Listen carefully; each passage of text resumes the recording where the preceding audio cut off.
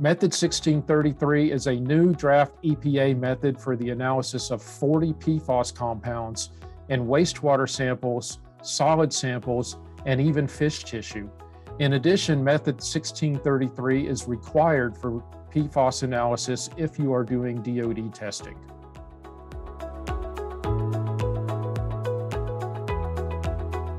If you have an existing DoD contract and you're analyzing for PFAS, then you need to switch over to method 1633 now.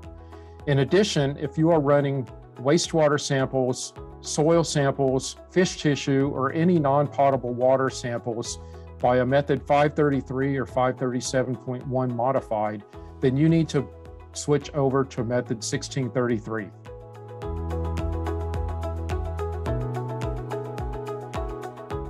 Method 1633 is unique in that it's a draft method, and the EPA administrator sent a letter out to all the states saying that this method is suitable for NPDES compliance reporting.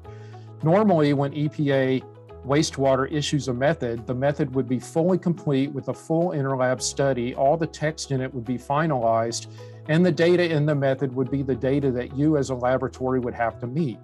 Because this is a draft method, that means that the language in the method is subject to change. And not only that, the data in the method, including the, date, the quality control acceptance criteria, is also subject to change. Fortunately for us, the method is now undergoing collaborative study. So eventually this language is going to be cha changed and finalized but the problem is, as a laboratory, as you set up to run 1633 now, you need to expect that you are going to have to change some of the, your own QC criteria and that some of the language of the method is going to change in the future.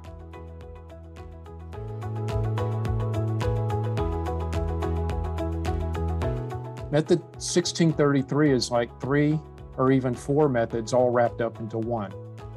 Method 1633 includes an extraction and analysis for clean water samples, for water samples that contain high percent solids, for solid samples, and for fish tissue. Method 1633 is an isotope dilution method, or as it's called in the method, an extracted isotopically labeled internal standard method. Method 1633 extracts the samples and then it does solid phase extraction and then it analyzes them by LCMSMS.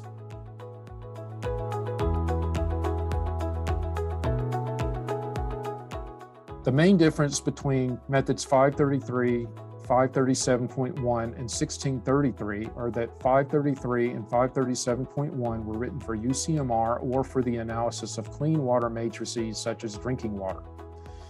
In addition, method 537.1 is actually an, an, internal standard calibration method, whereas method 533 and 1633 are both isotope dilution calibration methods. So in essence, 533 and 1633 are actually very similar for clean water samples. If you're measuring water samples by 533 and they're clean, you're basically measuring samples by method 1633 as well.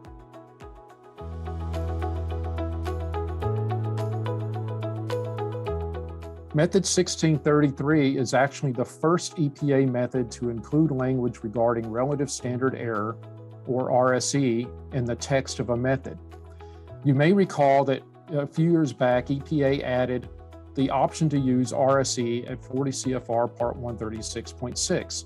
This was added because use of the correlation coefficient was not sufficient to correctly judge the the goodness of a fit of a calibration curve, especially when large orders of magnitude were used.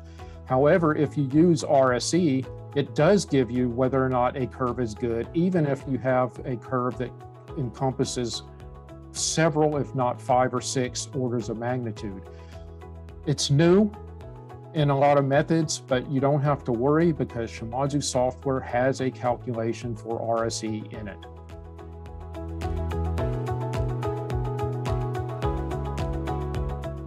Some of the main challenges of implementing method 1633 are number one, the method is still in draft phase, which means that as you implement the method inside your laboratory, eventually some of the QC criteria and other parts of the method may change, meaning that you might have to change some of your SOPs to compensate for the language that changed in the method. In addition, Method 1633 in itself includes three, if not four, SOPs within it. So to put this method in operation in your laboratory, you're going to have to make a extraction procedure for clean water that's method 1633 an extraction procedure for water that contains solids as a extraction for as a sop for method 1633 an extraction for the solid samples as a method 1633 and an extraction for fish tissue as method 1633 so, in my opinion, one of the biggest problems with the method in itself is that you have about four various SOPs and extraction processes and workflows passing through your laboratory.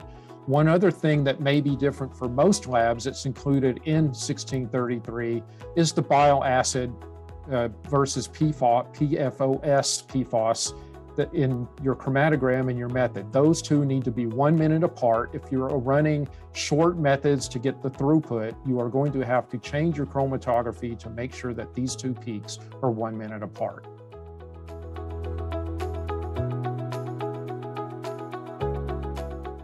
High suspended solids will actually interfere with the solid phase extraction process. If a sample contains a high amount of suspended solids, when you try to pass them through the SPE cartridge, the SPE cartridge will clog up. Since method 1633 is made for samples that are dirty, that means that your samples are probably going to contain high amounts of, of suspended solids. So therefore, the method has an extra procedural step in it where you receive your sample, you have two bottles, one for the extraction of the PFOS and another sample for the extra, for the analysis of TSS. So that would go into your TSS laboratory and you would analyze it for total suspended solids. And then that information would have to be known so that it can be used before you can actually run your samples or extract your samples. Another aspect, not necessarily TSS, is you need to know the percent moisture in solid samples. And that percent moisture data is used for your final volume calculation of your solid sample. So if you are extracting solid samples, you have to do your percent moisture first. And then you would need to know that percent moisture data before you can bring your extract to final volume.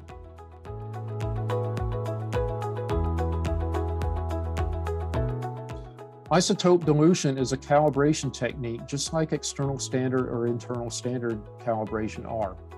The difference is that in isotope dilution, you add labeled analytes to your sample, and then you extract your sample and analyze it, and the isotopes are used as calibration standards to ratio against your targeted analytes. By doing this, you can correct for recovery and you're going to get better precision. When you get the better precision, you actually calculate lower detection limits using isotope dilution than you would from the any other calibration technique because you factored in the imprecision of the extraction process and you've also factored in the incomplete recovery of the extraction process, making isotope dilution actually give you much better data than you would get from an external standard or even an internal standard calibration.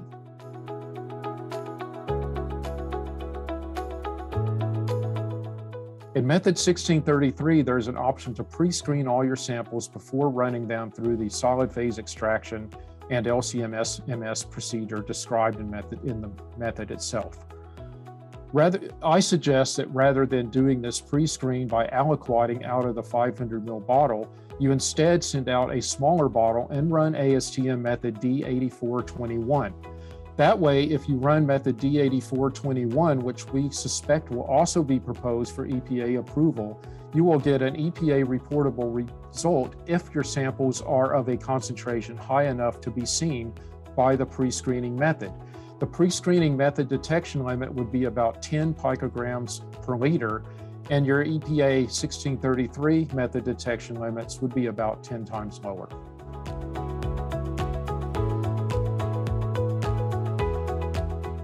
Shimadzu has two great instruments perfectly suitable for method 1633.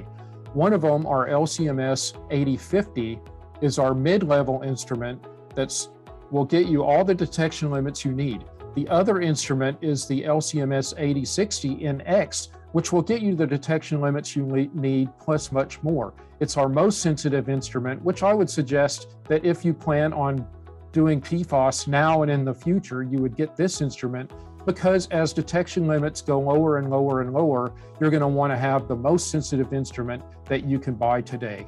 In addition, the 8060NX is a very fast scanning instrument that will be able to allow you to be able to shorten your runs to the extent possible by the method, getting you the fastest throughput you can possibly get from any LCMS instrument available.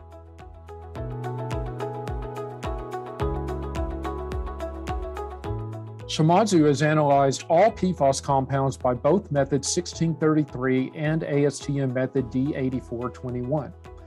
When you buy your instrument from us, not only will you get two one of two great instruments. You will also get the method and all the operating parameters necessary for you to run the method. So when we install your instrument, we will check it out to make sure it's installed properly and it's the most sensitive it could possibly be. But not only that, we are going to install the method parameters, meaning that you're going to have all your LC parameters installed, you're going to have all your compounds installed, you're going to have all your calibration levels installed, you're going to have all your MRM transitions and your, your collision energies, everything that you need to run the method will be there already for you. All you'll have to do once we do that is calibrate the instrument, and then you'll be ready to analyze your method detection limits and your demonstration of capability.